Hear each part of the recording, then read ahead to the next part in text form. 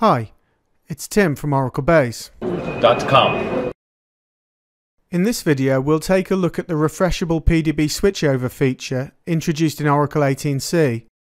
This builds on the PDB refresh feature introduced in Oracle 12.2. There's a separate video on that which you should probably watch before this.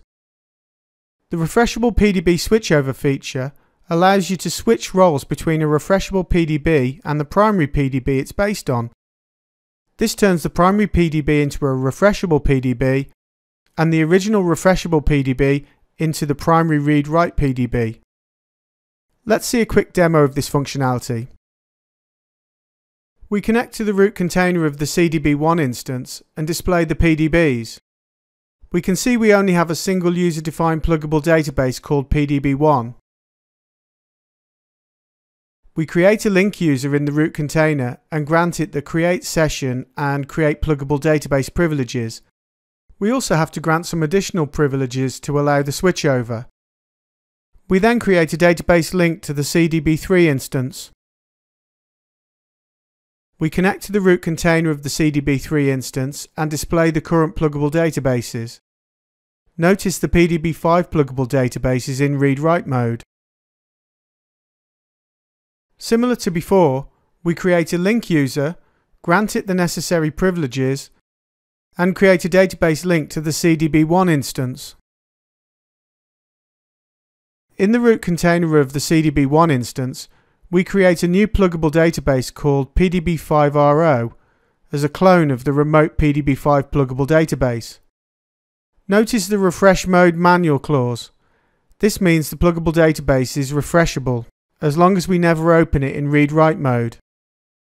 We open the new pluggable database in read-only mode and complete the operation, and we can see it in the PDB list. We connect to the CDB3 instance and remind ourselves of the PDBs present.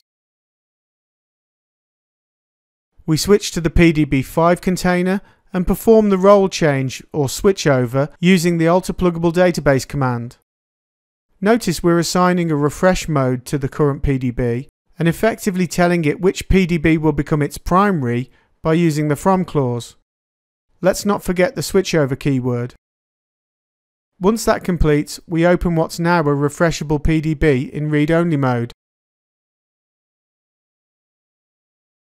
We can see the status change by querying the DBA PDBs view.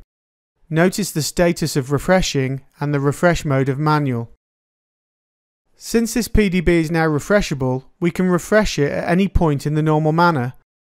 We close the PDB, refresh it, and open it in read-only mode again. If we connect to the CDB1 instance, we can see the PDB5RO pluggable database is now open in read-write mode, as it is now effectively the new primary PDB.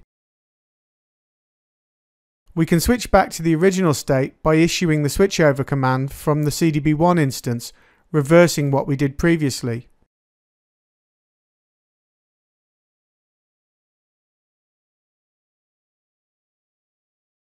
We can see the status change by querying the DBA PDBs view. Notice the status of refreshing and the refresh mode of manual.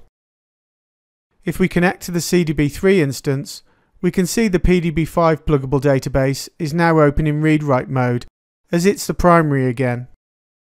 All this sounds similar to what we might expect when using DataGuard, but there's a chance of transaction loss here, so it shouldn't be considered as a replacement. Also, this feature is only available for Enterprise Edition on engineered systems and for all editions on Oracle Cloud.